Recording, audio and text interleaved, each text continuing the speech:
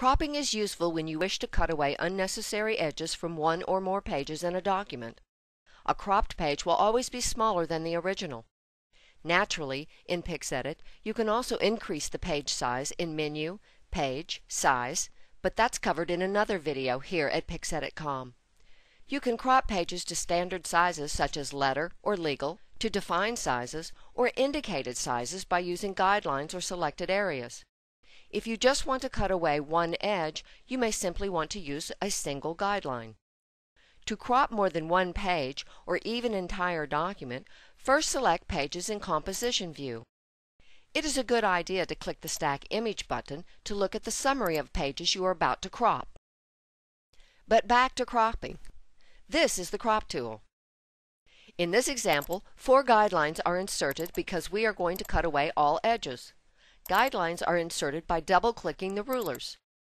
If you just want to cut away one single edge, insert only one guideline. To move a guideline, simply drag the guideline to its new position. To remove a guideline, right-click the guideline to show the menu, and click Remove Guideline. The Guideline menu offers more alternatives such as Recto Verso mode, magnetic snapping, and other options. Click the Crop button to display the Crop dialog box. Since we inserted guidelines to indicate where to cut, the Crop dialog will offer cropping using the position of your guidelines. If we, for example, had dragged out an area instead, the selected area would be the default choice for cropping. To complete the cropping operation, click OK. As you see, the Crop dialog box offers several methods to cut away edges. So before we crop according to the inserted guidelines, we will look at these possibilities. In this case, the possibility to cut a selected area is grayed out since we have not selected any area. You will learn more about selecting areas in another video. By choosing this option, you can crop selected pages to a fixed standard size such as A5. When choosing a fixed size, you can move this fixed size rectangle to any position like this. If you choose automatic cropping, PixEdit will choose an area that fits tightly around existing graphics on the page. You may therefore want to let PixEdit add a defined white border, a margin, to the final cropped result.